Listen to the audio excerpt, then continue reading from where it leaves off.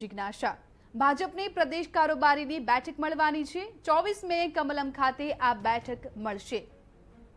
તો ચિંતન શિબિરમાં થયેલી ચર્ચા પર આ બેઠકમાં મનોમંથન કરવામાં આવશે.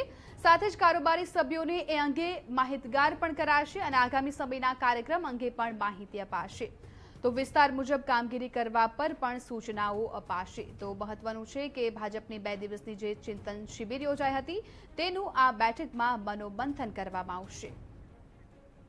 વધુ માહિતી માટે અમારા સંવાદદાતા કિંજલ મિશ્રા જોડાઈ ચૂક્યા છે. જે કિંજલ, ભાજપની બે દિવસની ચિંતન શિબિર યોજાઈ હતી અને હવે આ કારોબારીની બેઠક યોજાવા જઈ રહી છે. કયા મુદ્દાઓ ચર્ચાઈ શકે છે?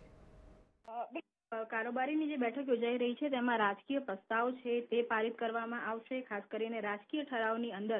સરકારની, રાજ્ય સરકારની અને કેન્દ્ર સરકારની જે કામગીરી છે, કામગીરી પર એક રાજકીય ઠરાવ છે, તે પારિત કરવામાં આવશે. તેની સાથે વિસ્તારક યોજના તૈયાર કરી દેવામાં આવી છે, જેની અંદર કારોબારીની બેઠક ચોવીસ તારીખે પૂર્ણ થશે. ત્યારે તેની સાંજે દોઢસો જેટલા વિસ્તારકો છે તેને અલગ અલગ વિધાનસભાની જવાબદારી સોંપવામાં આવશે અને આ વિસ્તારકો એ છ મહિના સુધી એ જ વિધાનસભામાં રહેશે. જ્યારે ચૂંટણી આવતી હોય છે સોશિયલ મીડિયા પર પણ એક અલગ પ્રકારનો ભાર આપવામાં આવતો હોય છે. ત્યારે સોશિયલ મીડિયાને લઈને ડિજિટલ કેટલાક કેમ્પેઇન છે તે કેમ્પેઇન લોન્ચ કરવામાં આવ્યા છે કે જેની અંદર જે સામાન્ય માણસોથી લઈ અને અલગ અલગ જે વર્ગ છે, યુવા વર્ગ, મહિલા વર્ગ સહિતના અલગ લોકો માટેના જે કેમ્પેઇન છે તે કેમ્પેઇન લોન્ચ કરવામાં આવશે. તેની સાથે જો જે ભાજપની કામગીરી હોય કે રાજ્ય સરકારની કામગીરી હોય તેને લઈ અને જે વીડિયો ક્લિપ છે, વીડિયો ક્લિપના મારફતે લોકો સુધી પહોંચવા માટે, ખાસ કરીને સોશિયલ મીડિયાથી યુવા સુધી પહોંચવા માટેનું એક આખું જે કેમ્પેઇન છે તે પણ લોન્ચ કરાશે. એટલે કહી શકાય કે ઇલેક્શન મોડની અંદર ચિંતન શિબિરમાં જેટલા મહત્વના મુદ્દાઓ છે, તેને લઈ અને પ્રદેશ કારોબારીની અંદર એક આખું જે પ્લાન છે તેને યુટિલાઇઝ કરાશે.